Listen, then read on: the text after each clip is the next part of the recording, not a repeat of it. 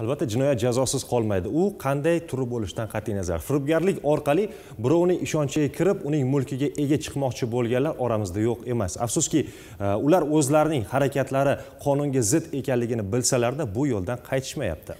Birovni aldab uni chuv tushirdim deb o'ylaydigan firibgarlar hech qachon uzoqqa borolmagan. Buxorolik uchar kimsaning o'ylaganlari puchga chiqdi. O'zi esa tuzoqqa tushdi.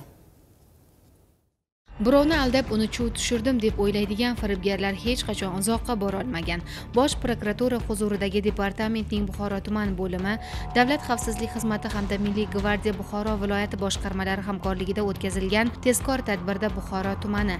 Shayxoncha qishlog'ida yashovchi fuqaro qirq bir ming besh yuz aqsh dollari evaziga buxoro tumanidagi fermer xo'jaliklarining biriga tegishli. Bog'dorchilik uchun mo'ljallangan to'rt gektar yer maydonini issiqxona qurish uchun tanishlari orqali buxoro shahrida yashovchi. Yashovchi bir ming to'qqiz yuz to'qson birinchi yilda tug'ilgan fuqaroga olib berishga ishontirdi. Kelishilgan puldan ming aqsh dollarini oldindan to'lov sifatida olgan vaqtida ushlangan. Shuningdek uning ko'rsatmalariga asosan tezkor tadbir davom ettirilganda viloyat yer resurslari kadastri sobiq mutaxassisi mazkur yer maydonini olib berish evaziga firibgarlik yo'li bilan ming aqsh dollarini tumandagi savdo markazi binosi yonida olgan vaqtida ashyoviy dalillar bilan qo'lga olindi. Mazkur holat yuzasidan jinoyat kodeksining tegishli moddasi bilan jinoyat ishi qo'zg'atilib tergov harakatlari olib borilmoqda.